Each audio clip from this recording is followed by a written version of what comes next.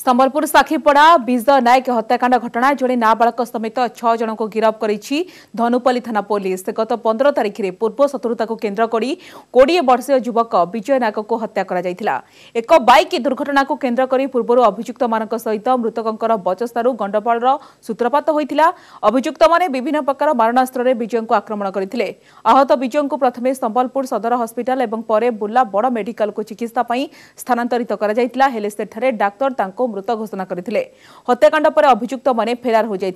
সতের তারিখে অভিযুক্ত মানুষ গিরফ দাবিরে বীর সুরেন্দ্র সায় মার্গ সাক্ষীপড়ার রাস্তা অবরোধ করা পুলিশ পক্ষ পাঁচটি টিম গঠন করা অভিযুক্ত মানুষ ঠাব করা ছজনক গিরফ করা তেবে অন্য অভিযুক্ত খুব শীঘ্র গিরফ করা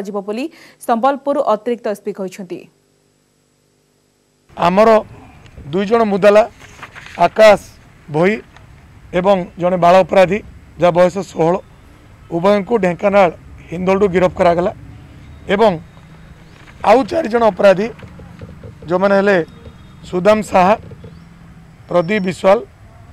ବାବୁଲୁ ନାୟକ ଏବଂ ଅବିନାଶ ଦାସ ଏହି ଚାରିଜଣଙ୍କୁ ସମ୍ବଲପୁରର ବିଭିନ୍ନ ଜାଗାରୁ କାଲି ରାତିରେ ଆରେଷ୍ଟ କରାଯାଇଛି ଏହିପରି ସର୍ବମୋଟ ଛଅ ଜଣଙ୍କୁ